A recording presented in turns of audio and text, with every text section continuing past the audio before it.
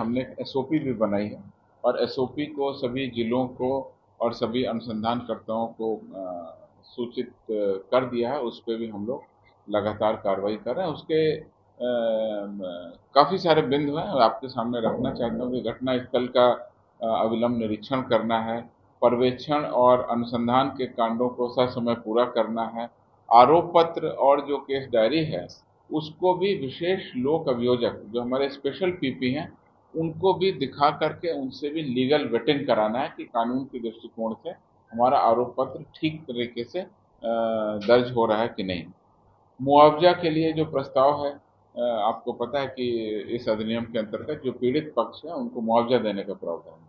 तो मुआवजा के लिए भी जिला कल्याण पदाधिकारी को प्रस्ताव समर्पित करना और आपको पता है कि मुआवजा भी अलग अलग श्रेणी में अलग अलग राशि का दिया जाता है और अलग अलग स्टेप पे दिया जाता है। कुछ मुआवजा प्राथमिकी के साथ कुछ मुआवजा जो है वो आरोपक समर्पित होता है, उस समय दिया जाता है।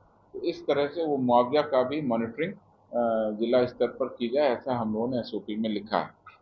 गंभीर जो हमारे कांड हैं इसमें उनका त्वरित विचारण कराना है, स्पीडी ट्रायल कराना है। इन सब मामलों में एस अधिनियम के अंतर्गत जो गंभीर मामले हैं, जैसे हत्या है, बलात्कार है, पॉक्सो है, इस तरह के जो गंभीर मामले हैं, उनका स्पीडी ट्रायल चिन्हित करके कराना पीड़ित उनके आश्रित और जो उनके विटनेस हैं, उनको भी प्रोटेक्शन देना है, जहाँ तक ज़रूरत पड़े, उनको जिस तरह के प्रोटेक्शन की ज़रूरत पड़े, उनको प्रोटेक्शन देना है, ताकि न्यायालय में वो गवाही पाया गया था कि एफएसएल से जाँच प्रतिवेदन कुछ अप्राप्त थे, उनको भी प्राथमिकता के तौर पर शीघ्र एफएसएल रिपोर्ट भी प्राप्त की गई और उसके आधार पर भी कार्रवाई की गई। इन सभी कार्रवाइयों का नतीजा ये हुआ, एक तो अभियुक्त गिरफ़्तार हुए और दूसरा अनुसंधान पूरा हुआ।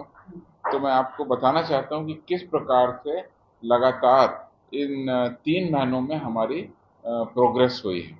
जनवरी महीने में 2023 का हम बात, आंकड़ा आपके सामने रख रहे हैं 2023 के जनवरी महीने में इस अधिनियम के अंतर्गत 550 कांड दर्ज हुए, लेकिन हमने डिस्पोजल किए आठ सौ उनतीस। यानी जितने केस हमारे पास में दर्ज हुए, उससे ज़्यादा केस करीब 150 परसेंट केस हमने ज़्यादा डिस्पोजल किए। फरवरी में 548 केस रजिस्टर हुए। उसकी तुलना में हमने 915 कांडों का डिस्पोजल किया। एक परसेंट ज़्यादा केस हमने डिस्पोजल किए। मार्च में छः केस दर्ज हुए। उसकी तुलना में आठ छियालीस कांडों का हमने निष्पादन किया। एक परसेंट ज़्यादा कांडों का हमने डिस्पोजल किया। इस प्रकार से देखेंगे तो इस साल के तीन महीनों में कुल सत्रह सौ बासठ कांड दर्ज हुए, जिसमें 2590 कांडों का हमने निष्पादन किया। करीब 140 परसेंट या लगभग हम कह सकते हैं कि 150 परसेंट अधिक कांडों का हमने डिस्पोजल किया। इसों को सुरक्षा देने के लिए बिहार गवाह सुरक्षा योजना 2018 के तहत गवाहों की सुरक्षा हेतु एक फंड बनाया गया है और बिहार गवाह सुरक्षा कोष नियमावली 2022 भी नोटिफाइड है। इन सब चीज़ों की आ, के बारे में डिटेल में अगली प्रेस कॉन्फ्रेंस में बताऊँगा। लेकिन इस एस सी कांडों में इन सारी एसओपी को समाहित करते हुए हम लोगों ने निर्देश दिया और इस तरीके से इसमें हम लोग कार्रवाई कर रहे हैं। इधर हाल के दिनों में हम लोगों ने एक विशेष अभियान चलाया है जिसमें कि पुलिस की अभिरक्षा से फरार यानी कि जो पुलिस की कस्टडी से अभियुक्त भाग जाते हैं ऐसे अभियुक्तों को फिर से गिरफ़्तार करने ये महाअभियान चल रहा है हमारा, और इसमें हम लोगों ने लगातार कार्रवाई की है, और एसटीएफ को भी लगाया है, जिला पुलिस की जो विशेष टीम है वो भी कार्रवाई करती है। मुख्य रूप से एसटीएफ की विभिन्न टुकड़ियाँ विभिन्न जगहों में काम कर रही है, और उसमें हम लोग लगातार कार्रवाई कर रहे हैं। जैसे कि हमारे पास में आंकड़े हैं छः फरवरी से लेकर के 20 मई तक हम लोगों ने 16 ऐसे अभियुक्तों को गिरफ़्तार किया जो पुलिस की कस्टडी से भाग गए। इसमें बहुत सारे अपराध कर्मी हैं। इसमें सबसे जो अभी हाल का अभियुक्त है, वो है 20 मई को जो बिहार एसटीएफ और दरभंगा पुलिस की संयुक्त छापामारी में पुलिस की अभिरक्षा से फरार अभियुक्त जो था मेहरे आलम, उस पिता देखिए एनआईए को अभी ट्रांसफ़र करने का कोई कारण हमारे पास में उपलब्ध नहीं है। जहाँ तक मेरी सूचना है, वहाँ के अपरा वहाँ के अधिकारियों से जो बात हुई है, उनकी लिस्ट में ये अपराधी शामिल नहीं है। यह उनका किसी कांड में पूछताछ के लिए उनको ले जाया गया था और उसके बाद में वो किसी गेस्ट हाउस में या जहाँ भी रखा गया था, वहाँ से वो गायब हो गया था। उसके बाद उन्होंने एक उसका कांड दर्ज करा लिया था क्योंकि वो कस्टडी में उसको लेके गए थे छापामारी करने। तो उस आधार पे कांड दर्ज हुआ और ये पुलिस की अभिरक्षा से जो फरार हैं, जिसमें हमने आपसे बताया कि एसटीएफ अभी लगातार कार्रवाई कर रही है, जिसमें 16 अभियुक्तों को हमने गिरफ़्तार किया। उसी लिस्ट में से हम लोगों ने गिरफ़्तार किया। तो अभी हम इसको मुजफ्फरपुर जिला पुलिस को हम सौंपेंगे, चूँकि ये दरभंगा से गिरफ़्तार हुआ है, मुजफ्फरपुर में कांड दर्ज हुआ था। अभी तक की जो जानकारी है, एनआईए के पदाधिकारियों ने बोला है कि हमारे किसी भी कांड में न तो वांटेड है और न ही वहाँ किसी भी तरीके से लिस्टेड है। फिर भी हम औपचारिक रूप से, लिखित रूप से उनसे ये सूचना प्राप्त कर लेंगे और उसके बाद में हम कोर्ट को सूचित करेंगे। अभी कोर्ट में यह जो पुलिस हिरासत से भागने का जो आरोप है, उस आरोप में मुजफ्फरपुर जिला पुलिस के द्वारा मुजफ्फरपुर कोर्ट में इसको उपस्थापित सर, ये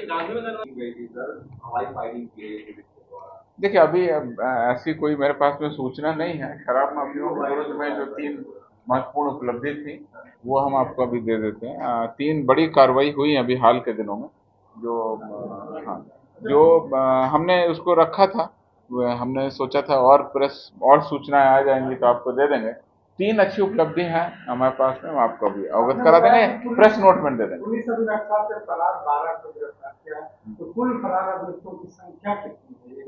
वो आ, मेरे पास में आंकड़ा नहीं है लेकिन एस टी एफ़ की टीम को अलग अलग एरिया वाइज बांट करके अलग अलग एरिया दे करके उनको दिया गया है और आ, मुझे लगता है कि हम शीघ्र ही उस लिस्ट को समाप्त कर दें सभी अभियुक्तों की गिरफ्तारी करने की दिशा में हम लोगों का प्रयास हो रहा है। आपने देखा 10 वर्ष से फरार 15 वर्ष से फरार 2004 से फरार ऐसे अपराध कर्मी जो पुलिस की फाइलों में फरार रह जाते हैं। और उसके बाद में फिर लगातार कोई एफर्ट नहीं होता है एक बार कुर्की जब्ती हो जाने के बाद में। फिर लगातार एफर्ट नहीं होता। एस ड्राइव जब होती है, तब बहुत सारे अपराध कर्मियों की जिनकी कुर्की जब्ती हो गई है, जो सालों से गिरफ़्तार नहीं हुए हैं, उनके लिए अभियान चलता है। लेकिन ये एक फोकस अभियान है और बिल्कुल स्पेसिफिक अभियान है, जो पुलिस की कस्टडी से भागे। उनके लिए फोकस अभियान है। जनरल अपराध कर्मियों के लिए नहीं है, इसके लिए हम लोग कार्रवाई करें। और जैसा आपको बताया हम आपको सूची भी उपलब्ध करा देंगे। और जिससे आप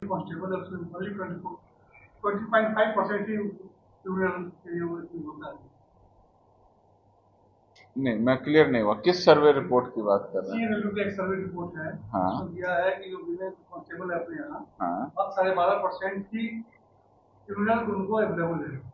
नहीं देखिए वो सर्वे रिपोर्ट मेरे पास में है नहीं। सर्वे रिपोर्ट किसने की है किस आधार पे की है कितने जिलों में किया है कहाँ से आंकड़ा उपलब्ध कराया मुझे वो जानकारी है नहीं मैं आपसे कहूँगा कि सर्वे रिपोर्ट मेरे सामने लाए हम लोग रिव्यू करेंगे और रिव्यू करने के बाद में उस पर जो भी उचित कार्रवाई है वो हम लोग निश्चित रूप से करेंगे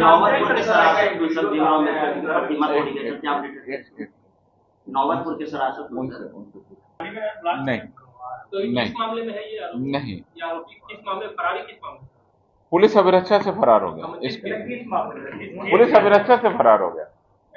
पुलिस पुलिस अभिरक्षा से फरार हो गया। पुलिस एनआईए की टीम इसको लेके गई थी पूछताछ करने के लिए। ये एफआईआर में वांटेड नहीं था। इन एनआईए को ऐसा शक हुआ कि इसको कुछ जानकारी होगी। संभवतः उसके बाद में इसको वहाँ गेस्ट हाउस में रखा गया था, कुछ और इनपुट इकट्ठा करके, कुछ और लोगों के बारे में। उस बीच में वहाँ से ये चला गया। तो जब चूँकि उसके दरभंगा से एनआईए की टीम मुजफ्फरपुर लेके गई थी तो उन्होंने ऐसा उचित समझा कि मुजफ्फरपुर थाना को सूचना देके हम ये कह दें कि चूँकि कस्टडी में अपने साथ लेकर के आए थे तो उस तरीके से इन्होंने एक एफआईआर दर्ज की है। डिटेल जैसा मैंने आपको बताया, हम एनआईए को लिखित रूप में सूचित कर रहे हैं। और अभी मुझे लगता है दो तीन घंटे में लिखित रूप से मैंने बिहार के एटीएस के एसपी को कहा है। यहाँ के एटीएस के एसपी ने वहाँ एनआईए को पत्र लिखा है और वो कह रहे हैं कि आधे घंटे में विस्तृत सूचना आप देखिए अगर लेटर आ गया एसपी ने उनसे सूचना प्राप्त कर लेंगे कि उनके किसी केस में वांटेड है कि नहीं है। अनौपचारिक रूप से मौखिक रूप से उन्होंने जो दूरभाष पर बताया है कि एनआईए के केस में वांटेड ही नहीं है। ये वास्तव में कुछ अन्य अभियुक्तों की गिरफ्तारी के लिए उनकी पहचान करने के लिए ले जाया गया आशीर्वाद इजी कॉन ग्रुप, भरोसे का दूसरा नाम। हम सिर्फ़ घर नहीं, खुशियाँ भी बनाते हैं। आशीर्वाद रोज वैली, जिसमें है premium flats with all modern amenities Patna में लेना चाहते हैं अपने सपनों का आशियाना तो कीजिए हमारे इन नंबरों पर संपर्क।